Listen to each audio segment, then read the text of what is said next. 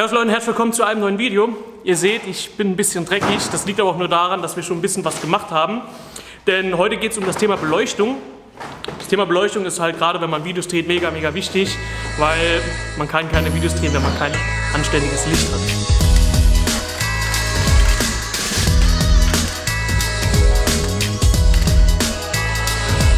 Ich mache das Ganze mit der Firma Luxite zusammen und das ist nämlich der Sven. Bleibt auf jeden Fall am Video dran, denn am Schluss von diesem Video werden wir noch ein paar Fragen klären. Da freue ich mich auch speziell schon drauf. Auf jeden Fall zeige ich euch jetzt erstmal die Lampen, die wir hier verbauen werden. Das sind hier diese LED-Panels, die sind 60 x 60 cm groß. Die gibt es in einer quadratischen Ausführung. Für meine Werkstatt macht es mehr Sinn, weil der Raum quadratisch ist.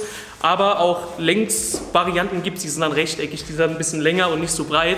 Vielleicht sind die für eure Werkstatt dann auch besser von der Raumaufteilung, denn viele Werkstätten sind ja auch längs aufgebaut. Das sind auf jeden Fall die Panels. Und jetzt wusste ich natürlich nicht, wie viele Panels hier für diese Werkstatt Sinn machen. Und da ist halt eben das Coole beim Sven, denn der hat mir ausgerechnet, hey Philipp, schau mal, hier hast du die Grafik. Mit diesen Panels bekommst du halt eben das an Licht raus und das solltest du auf jeden Fall hier für diese Werkstatt haben. Das hat der Sven nicht nur für mich gemacht, weil ich der Philipp bin. Äh, das macht er nämlich für jeden, denn der berät halt jeden, okay, die Lampen sind für dich am besten und die Menge an Lampen für dich sind halt auch in dem Fall jetzt am besten, je nachdem, was du halt vorhast. Und das macht es halt ein bisschen aus. Ruft den Sven einfach mal an und fragt ihn, hey, ich habe das und das und das, was brauche ich denn da am besten für Lichtequipment, damit es halt hell in der Bude wird. Und ich kann euch mal so viel sagen, hier drin wird es später taghell und da bin ich selbst extrem drauf gespannt, wie hell das Ding am Schluss wird. Übrigens da im Hintergrund seht ihr meinen Paps. Mit dem baue ich das Ganze nämlich hier gerade auf. Alleine wird das nämlich nicht, nicht wirklich gut gehen, weil halt hier eine Tuffbetondecke an der Decke ist und die ist halt ein bisschen porös. Nur mal so am Rande noch, ich verlinke euch natürlich die Lampen unten in der Videobeschreibung, schaut euch das auf jeden Fall mal an. Der hat auch noch viele, viele weitere coole Lampen, die auch für deine Werkstatt oder für deine Wohnung auch passend sein könnten. Wenn ihr eine blanke Decke habt, so wie ich, dann braucht ihr noch einen, also so wie hier, dann braucht ihr noch einen Rahmen, ähm, wo ihr halt eben diese LED-Panels reinhängen könnt. Und das sind hier diese Teile. Da zeige ich euch schnell was und gebe euch einen richtig wichtigen Tipp mit, wie ihr euch das Montieren super einfach machen könnt. Also wir brauchen natürlich als erstes mal hier einen Rahmen. Der ist hier drin und ganz wichtig, da sind auch Schrauben drin, das haben wir am Anfang nicht wirklich gesehen. Das geht ganz schnell auszupacken. Hier sind die Schrauben, die braucht man natürlich zum Befestigen, gerade wenn ihr eine Betondecke habt, sind da direkt Zügel dabei, das ist ganz gut. Befestigen ist eigentlich auch ganz einfach, das ist so ein Klicksystem, wo man dann den Rahmen miteinander befestigt.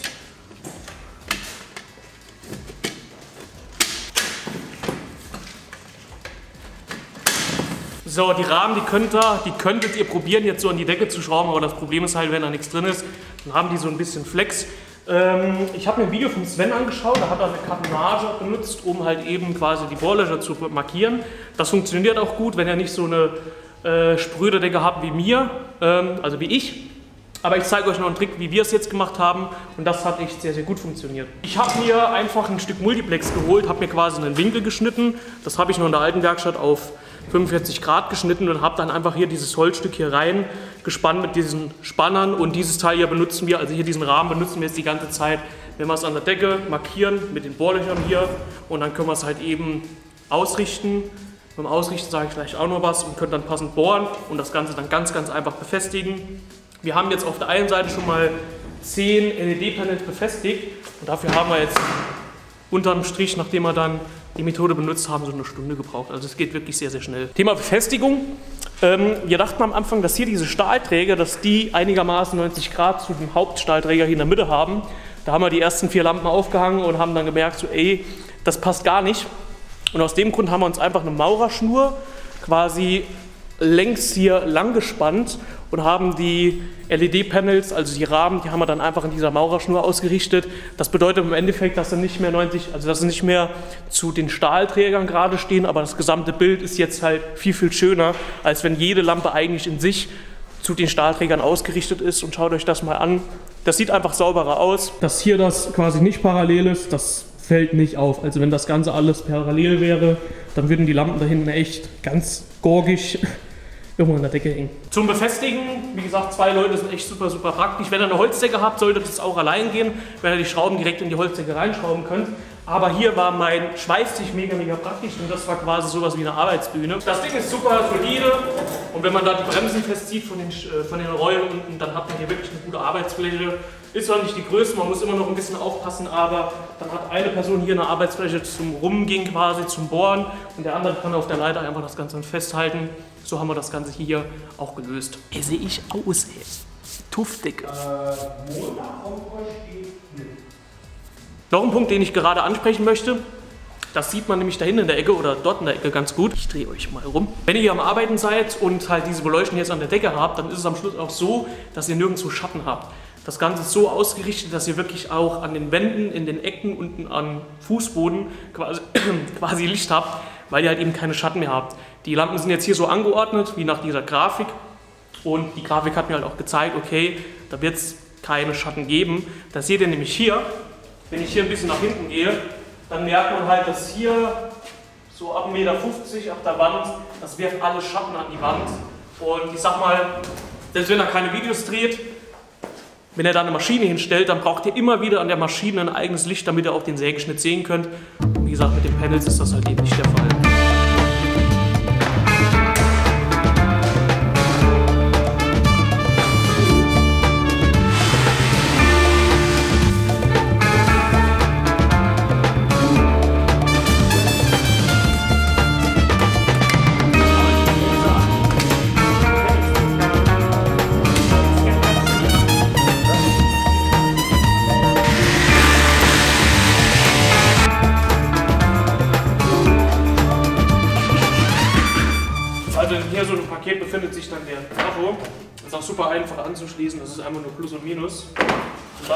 Hier drunter auch schon das Energiepaneele. Da ist ein bisschen Schaumstoff. Das kommt mir ehrlich gesagt noch ganz gut, weil damit werden wir ein Fenster zumachen. Dann können wir das hier gerade wiederverwerten. Und ich will euch einen Tipp geben, baut erst alle Rahmen an, legt dann alle Kabel und äh, tut nicht alles direkt auf einmal. Ähm, das haben wir nämlich gemerkt, dass man so echt viel schneller unterwegs ist. Also immer, keine Ahnung, fünf Stück immer so etappenweise, dann alle gleiche Arbeit quasi, einfach gut. So, ich packe die ganzen Pakete jetzt aus und hier rechts werden als die Lüsterklemmen festgemacht, damit wir dann oben an der Lampe auch wirklich nur noch die, die Stecker vom Kabel zur nächsten Lampe festmachen müssen oder halt nicht alle alle, ups, alle vier Schrauben von der Lüsterklemme festmachen müssen. Jetzt geht es an die Verkabelung und es brennen schon ein paar Lampen nicht, weil wir jetzt unter Strom hier arbeiten. Wir haben hier quasi vier Schalt Schaltungen, denn bei normalen Arbeiten, wo ich nicht filme, brauche ich halt nicht diese 20 LEDs. Das zeigt aber wiederum, wie hell die sind. Nur wenn ich halt filme, benutze ich halt alle 20 LEDs. Wenn ich halt normale Arbeit mache, wie Film was zuschneiden, dann reicht auch das Licht jetzt schon, weil das hier ist quasi das Licht was ich benutze, wenn ich halt eben nicht filme.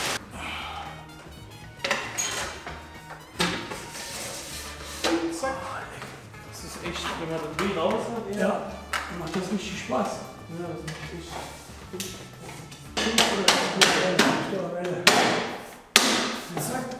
Zack, zack, zack.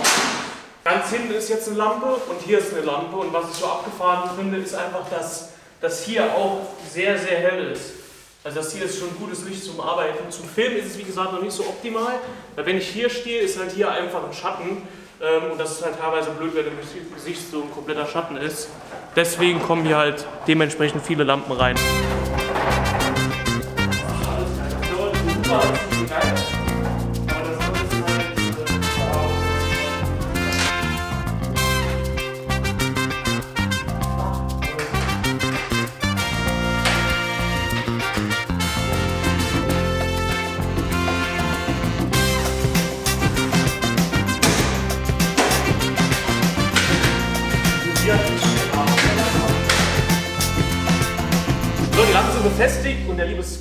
ist jetzt da und dem können wir eure Fragen, die ich euch auf Social Media gestellt habe, jetzt stellen. Sven, wer bist denn du? Stell dich erstmal kurz mal vor. Ja, ich bin der Sven von Luxlight, mittlerweile schon der selbsternannte äh, Lichtmensch in, äh, im, im, Werkstättenbereich, privat wie äh, gewerblich.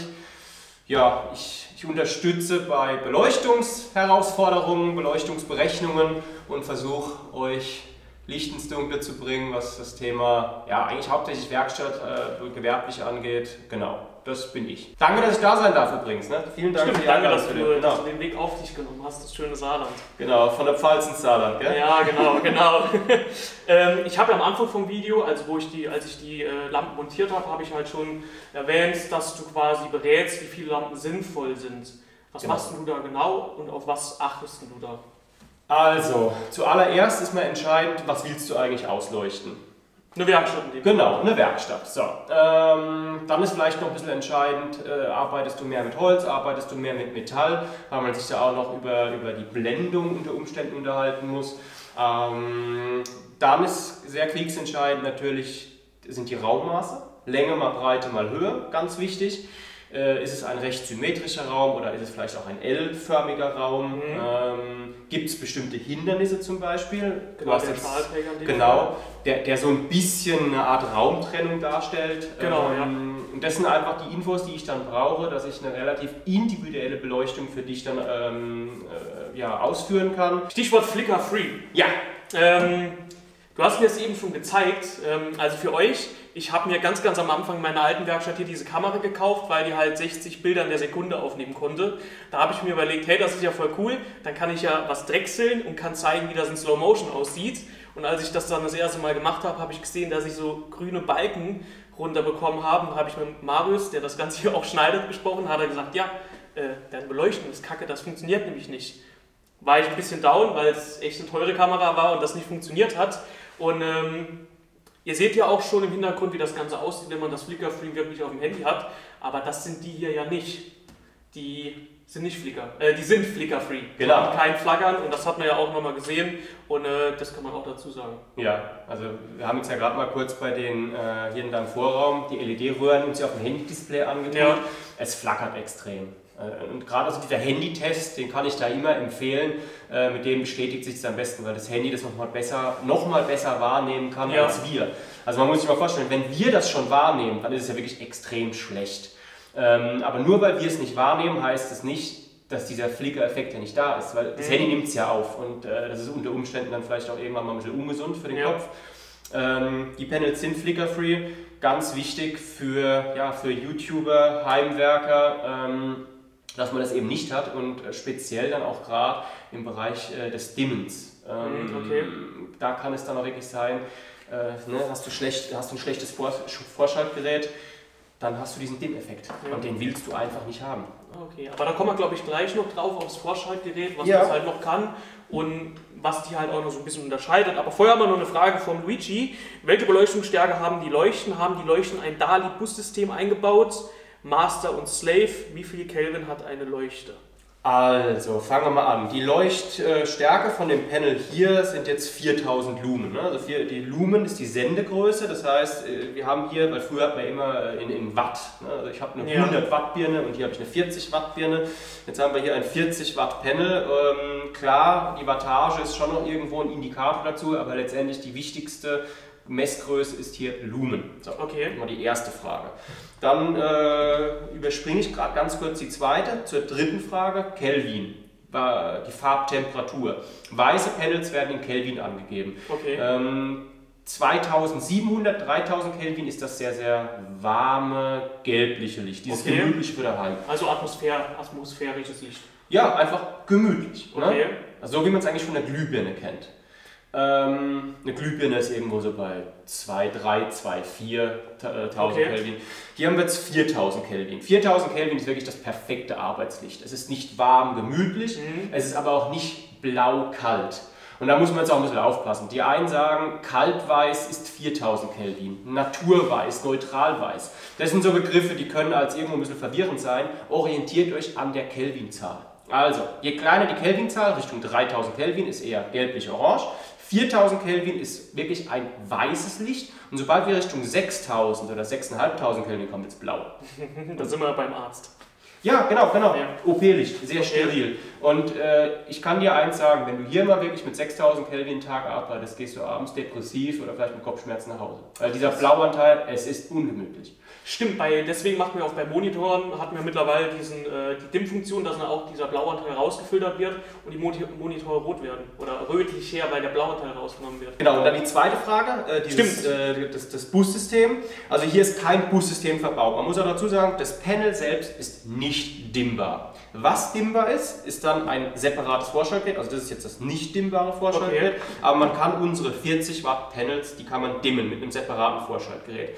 Und man kann dann dieses dimmbare Vorschaltgerät an ein bestehendes äh, Boost-System auch an, anschließen. Aber da muss man aufpassen, nicht jedes Boost-System passt zu unserem dimmbaren Vorschaltgerät. Also da muss man dann auch wirklich äh, mit einem Elektriker sich unter Umständen vielleicht auch austauschen okay. äh, und vor allem die, die Datenblätter vom, äh, von unserem Vorschaltgerät und von dem, von dem äh, ja. bestehenden Bussystem dann wirklich entsprechend studieren. Also wir haben schon Rückmeldungen gehabt von Elektrikern, total easy, konnten wir ganz einfach einrichten. Dann hatte ich mal ein ähm, Telefonat mit einem Elektriker, der hat es nach drei Tagen noch nicht hingekriegt.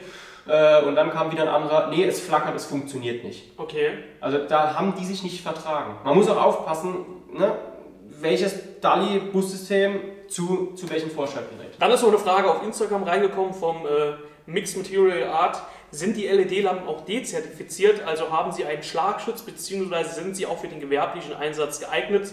Danke für die Info. Also, ich wusste gar nicht, dass es so viele verschiedene Eigenschaften von so Lampen gibt. Also, sag du was dazu. Ja, also eine sehr, sehr gute Frage auf jeden Fall. Ähm, ich bin erstaunt, dass diese Frage insgesamt nicht öfters an uns herangetragen wird. Ähm, ich war letztens mal wieder im Baumarkt, Stichprobe nach Konkurrenzprodukten gemacht und ich suche immer vergeblich dieses TÜV GS Logo. Okay. Also ich habe dazu auch mal selbst auf unserem Mini, Mini, Mini YouTube-Kanal ein Video dazu gemacht, okay. um, diese, um diese Kennzeichnungen mal zu erklären. Ne? Ähm, diese CE-Kennzeichnung heißt nur, ich halte mich an europäisches Gesetz. So, das heißt, aber ich habe keinen Beweis dafür, dass, dass, dass, dass, dass das auch wirklich macht. Ah, okay. Also die Kennzeichnung ist gesetzlich verpflichtend. Wir, haben, äh, wir, wir, bezahlen wirklich nicht wenig Geld für eine unabhängige TÜV-GS-Prüfung. Und diese mhm. TÜV-GS-Prüfung hat unter anderem diese Schlagschutzprüfung mit drin. Ähm, und ja, wie gesagt, äh, ich möchte nachts schlafen können gut schlafen können. Mhm. Wenn ich mir was überlege, ich habe irgendeinen Schrott an LED-Panels verkauft und irgendeinem brennt die Hütte ab, das will ich nicht. Und nochmal, wir haben, wir haben da wirklich Geld in die Hand genommen für diese unabhängige Prüfung. Äh, es ist auch eine offizielle, richtige Prüfung, die wir da haben durchführen lassen vom Produkt, von der Produktion. Und ähm, ja, sie sind für den gewerblichen Bereich auf jeden Fall äh, gemacht. Es muss letztendlich jeder für sich selbst entscheiden, wie wichtig das einem ist. Deswegen, also ich finde es toll, dass die Frage gestellt wird. Ja. Ähm, ich frage mich, warum sie als nicht öfters gestellt wird. Lassen sich die LED-Panels dimmen? Weil da waren wir ja ganz am Anfang auf das äh, genau. Vorschaltgerät mal eingegangen. Mhm. Ähm, was dimmt man? Dimmt man mit dem Vorschaltgerät oder wie ist das dort? Ja, also genau. Das, das Panel selbst ist nicht dimmbar, das Vorschaltgerät ist dimmbar. Und ähm, also das jetzt nicht, wie gesagt, wir haben ja. dimmbare Vorschaltgeräte im, im Angebot und ähm, die steuern dann letztendlich über ihren Output die Helligkeit des jeweiligen Panels. Mhm. Genau. Also die Frage, ja, mit Aufpreis sind unsere 40 okay. Watt Panels dimmbar. Genau. Kann das ist vielleicht was, weil wir uns da auch drüber unterhalten haben.